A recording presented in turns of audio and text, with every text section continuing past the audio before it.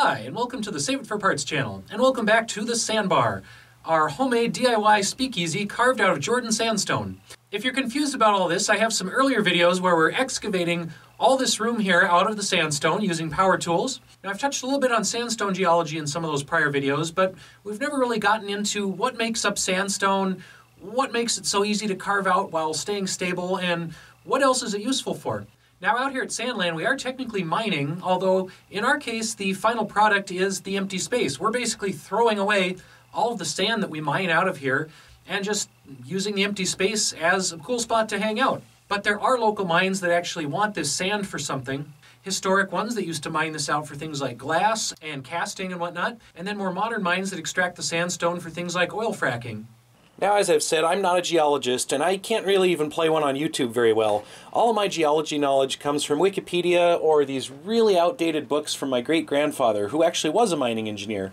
These books are fun, but they're a little outdated. So I'll do my best when talking about sandstone and geological stuff, but if I get it wrong, I do apologize.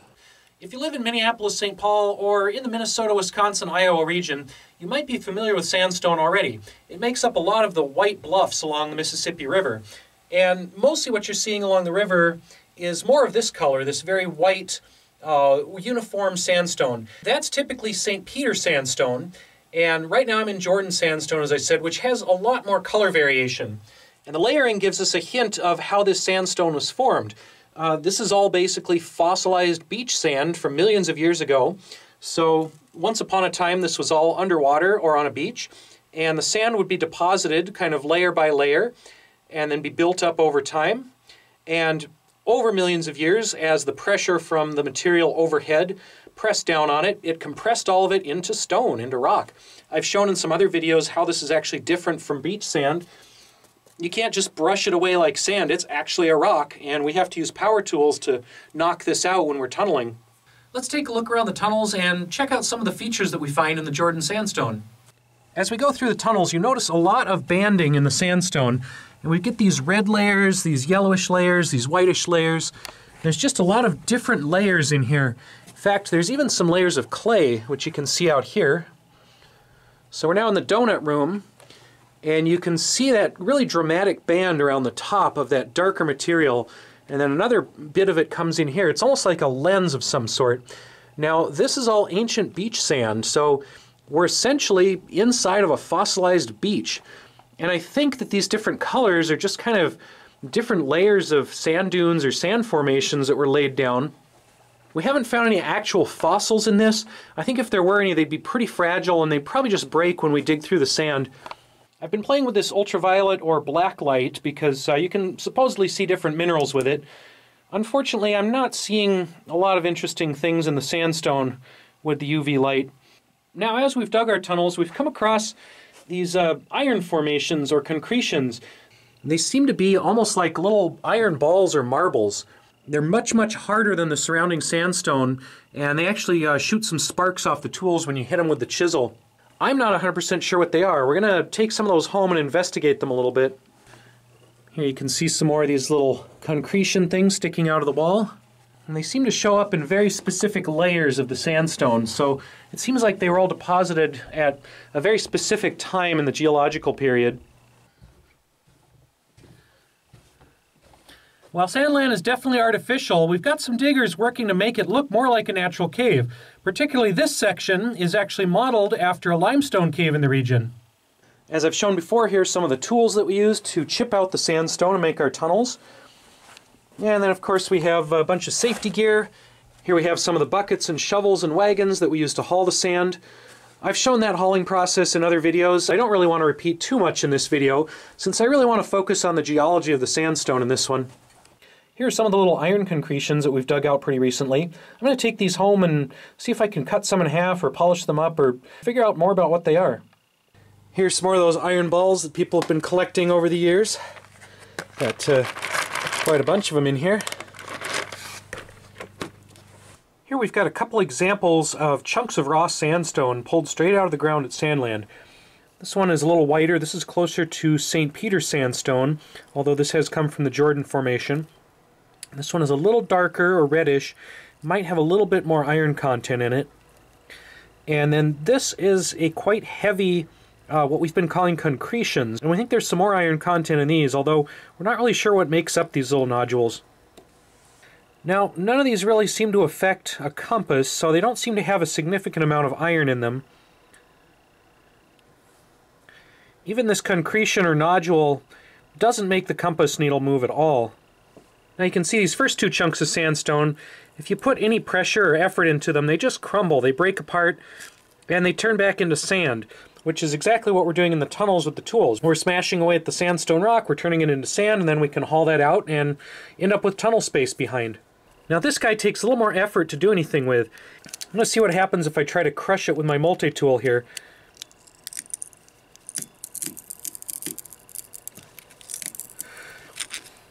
I've put quite a bit of force into that and I still can't break it. It's acting like a metal. Now even though we suspect this darker red sandstone has some iron content in it, it doesn't really seem to react to a magnet. I can't pick up any of the sand particles with the magnet. And the same with this white sandstone. The magnet doesn't pick up any of these particles. The magnet also doesn't seem to stick to this nodule at all. It's also not electrically conductive. Now as iron oxidizes or rusts, it does lose some of its magnetic properties. Now these chunks of rust I dug up in the yard still are slightly attracted to a magnet, but they haven't been down there for millions of years like those little balls have. I brought some samples back to my science lab, and by science lab, I mean some obsolete microscope junk that we got for 20 bucks at University Surplus. I've also got this more modern, if optically questionable, microscope from Ax-Man for $6. So between the museum pieces and this thing, we should be ready for some real scientific rigor.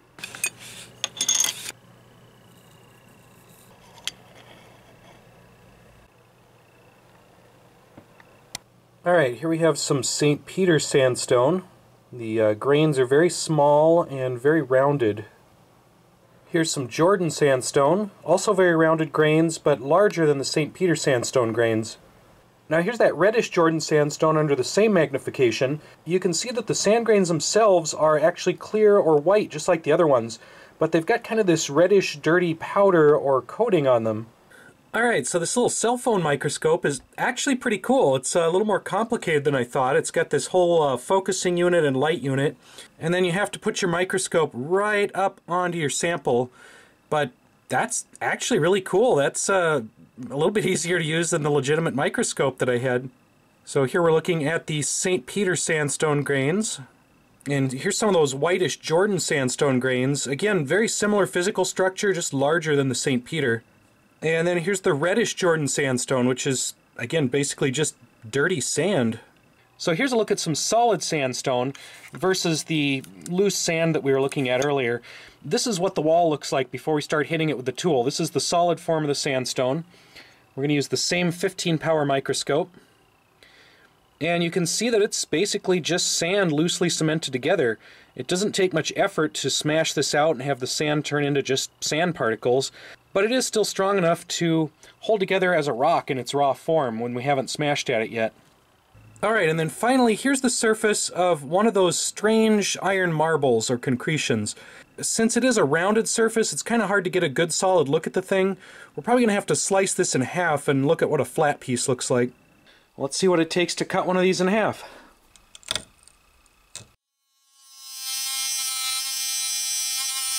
Oh, apparently it's too much for this little grinding wheel. Let's try a diamond wheel. I have hardly made a scratch on the surface of this thing. Well, nothing seems to cut through this thing. Let's see if we can just shatter it. So here's what these things look like on the inside. They're kind of a silvery gray, shiny, metallic interior, and they definitely still look like metal in there. Here's the flattest surface I could get under that 15 power phone microscope. I'll take some still photos and throw them up on the screen here just because those might be a little easier to see than looking at the phone screen. That sort of rusty exterior. There's the broken edge. And here's the inner surface. There's definitely some different colors of material inside of these. And again, here's right along that fractured edge. And the interior of these things is not electrically conductive either. Alright, so just what are these little things? They're not magnetic, they're not conductive, they still seem like metal on the inside, but they don't have a lot of metal properties that I would expect if they really are iron concretions. Now again, there are certain iron oxides that have lost their magnetic properties. So hematite is a naturally occurring iron oxide and is actually an important iron ore. Now Wikipedia does say that hematite is electrically conductive, although it's not attracted to a magnet. So I don't know if these are pure hematite or some mixture of that and something else. Now apparently out in Utah in the Navajo sandstone, there are things just like this that are known as Moqui marbles. And they even have uh, genders for the different shapes. They call the flying saucer one here a female marble and the spherical one a male marble. And apparently these have applications and uses in various Native American rituals and legends and whatnot. Now the ones out in Utah tend to be sandstone core with a hematite crust. Now these are not exactly the same. These seem to be the same material all the way through, or at least the ones I've cracked open. Now, recently, NASA has discovered something like this on Mars. Uh, the ones they found on Mars, they think, are solid iron oxide all the way through, so closer to these than to the Moqui marbles. And they're actually using that as an indicator of possible past water activity and possible life on Mars, so that's pretty cool. On a very tenuous and probably unrelated note, there is a large meteor or asteroid crater in this region. It's called the Rock Elm Disturbance. It's mostly unnoticeable from the surface these days, although scientists and geologists have found all kinds of evidence for it in the geologic record. And this asteroid or meteor did hit around the same time that our sandstone at Sandland was forming, although we've had a couple geologists look into it, and they've said it's, it's very unlikely that these are related in any way to that. The most likely explanation for how these little guys are formed is that minerals precipitated out of seawater millions of years ago and formed these kind of molecule by molecule, almost like a crystal or a geode. And again, very similar formations have been found in sandstones all over the world, not just here, not just in Utah, but almost everywhere you have sandstone, you get something like these little guys. Now, Washington University describes hematite concretions as formed in sedimentary rocks like limestone or sandstone, and these formed by the precipitation of iron oxide, probably out of seawater. They go on to say that while these hematite concretions are rich in iron, they do not attract a simple magnet. And they do mention that these are frequently mistaken for meteorites because of their appearance and weight. Apparently, back in the early days of settlement, people did find little chunks of iron, and there were some open pit and even underground mines in central Wisconsin. None of them were very successful, and once the hard rock iron mines up north opened up, these little surface operations were pretty much abandoned. Now, the sandstone itself is still actively mined today for things like fracking, as I've mentioned, and other uses like glass and casting. Can we do anything with our sand at Sandland? Possibly. I've done some experiments in other videos where we try to solidify it, make the sand back into a sandstone or building material. I've also tried doing some aluminum casting in other videos using sand from Sandland, although my aluminum smelter never quite works right. The sand is also great to throw on your driveway or sidewalk or steps in the winter. It gives you a little bit of extra traction when it's icy. I guess we could use these guys for something like cannonballs in a small cannon. Otherwise, they're just kind of cool little decorations. Alright, I hope you've enjoyed this very amateur dive into the geology of Sandland and some of our more interesting geological features. Stay tuned for more digging, more excavating, more tunneling, and maybe more geology stuff if I learn more about it or if we bring out a real geologist to check things out. Make sure to like and subscribe if you don't want to miss those future updates. Thanks for watching, and we'll see you next time.